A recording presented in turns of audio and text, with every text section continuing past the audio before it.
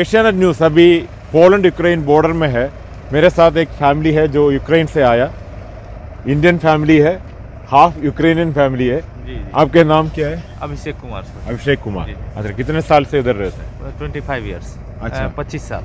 पच्चीस साल से यूक्रेन के अंदर अच्छा अच्छा अच्छा। जी। तो इधर कौन सी काम से आया? हम आए थे सर पढ़ने यहाँ पे नाइन्टी फाइव में। नाइन्टी फाइव में हम पास आउट हैं खारको विभिषण इंस्टीट्यूट से एरोनेटिक्स इंजीनियर हैं एम टेक किए हुए हैं। और उसके बाद मैं बिज़नेस करने लगा मैं मेडिसिन का बिज़नेस करता हूँ। अच्छा। सर तो यहीं पे रुक गया सर अच्छा अच्छा। आप कहाँ है? कीव में है या हम खारकी में है सर खारकीव में। ओ, 25 अच्छा। अच्छा खारकीव से कैसे आए? इधर ट्रेन से आया कैसे ट्रेन ट्रेन से सर अच्छा। इंटरसिटी ट्रेन से अभी है। कैसे उधर शेलिंग चल रहा है या क्या स्थिति है खारकीव में? अभी बहुत बहुत बुरा स्थिति है सर बहुत बुरा स्थिति है। हम लोग दस दिन से बहुत झेल के आ रहे हैं सर। इसलिए मतलब बयान नहीं कर सकते मैं नहीं कर सकता। बयान नहीं कर सकते अच्छा, अच्छा। तो आपकी शादी भी हुआ इधर यूक्रेन में? जी, अच्छा। जी, जी, उनके वाइफ भी बैठा है अंदर अ, नताशा। अच्छा नताशा। हाय कैसे है? तो कितने दिन से आप अभी इधर आने के लिए कोशिश कर रहे हैं? सर हम लोग लास्ट फाइव डेज़ अच्छा। फाइव डेज़ कोई जानता नहीं था कि ऐसा वार होगा। हम लोग इसको इजी लेके चल रहे थे सब कोई। मतलब कभी आज तक हुआ ही नहीं था कि यूक्रेन और रसिया में ऐसा वार हो जाएगा सर हाँ। चौदह में भी हुआ था 2014 में लेकिन ऐसा सिचुएशन कभी नहीं आया था कि रॉकेट लॉन्चर ये सब मतलब इस टाइप से अभी खारकिव का ये हाल है बहुत बुरा हाल है सर बहुत बुरा हाल है क्योंकि हमारे घर के पास जस्ट रॉकेट गिरा है।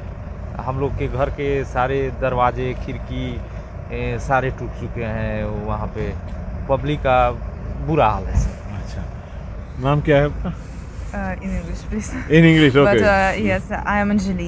Oh. Uh, I am 18 years you are old. Anjali yeah Yes. Yeah okay Uh, I am 18 years old, and uh, as uh, you understood, uh, I live in Kharkiv. Uh, uh, I study in uh, the second course uh, in medical university, okay and uh, yes, what I can Oh, also say.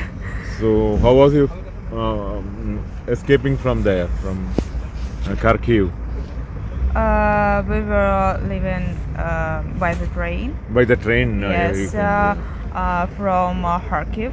Uh, we left the platform on about um, 8, no, 11. okay. Are you sad to leave Ukraine because you Yes, have yes. been living for these 18 years in Ukraine Yes, and uh, I was really sad, but I hope it will be okay and uh, I'll come to normal life because I have a lot of friends and uh, universities that I should finish and uh, a lot uh, that I have left, but uh, we hope everything will be okay.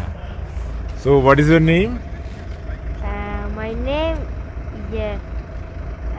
It's uh, Aryan. Okay. Are you happy that you came out of Ukraine now and uh, you are safe now for some days? Yeah. Yeah. Okay. नहीं समझ रहा है। हाँ, नहीं समझ नहीं समझ अच्छा, रहा है। अच्छा। आप बोलिए हम इसको पूछ के बता देते हैं। तो अब अभी कहाँ जा रहे हैं आप सर इंडिया जाएँगे सर। अच्छा इंडिया जाएँगे। तो इंडिया से अच्छा कौन अपने माँ बाप वहाँ है तो इस इस सिचुएशन में कहाँ जाएँगे? अच्छा। वो लोग वेट कर रहा है बहुत पड़ रहा है। अच्छा। जी जी। ठीक है आपको सभी हाँ, अच्छा होना है वो सबसे पहले ये करेंगे अपने थैंक्स कहेंगे इंडियन गवर्नमेंट को और जो हमारे भाई बहन हैं, ये जो सब कोई हम लोग को हेल्प कर रहे हैं इनको हम लोग बहुत बहुत दिल से शुक्रिया अदा कर शुक्रिया अदा करना चाहते हैं कि जो हम लोग के लिए इस टाइम पे हैं। सब शुभकामनाएँ इंडिया वापस जा रहे हैं ठीक है? तो thank you very much for speaking to us तो ये फैमिली जो आया यूक्रेन से और वो इंडिया जा रहे हैं। अभी एक सेफ़ प्लेस हो रहा है इंडिया उधर जा रहे हैं। यूक्रेन पोलैंड बॉर्डर से शोन मैथ्यू के साथ प्रशांत रघुवंशम एशियानेट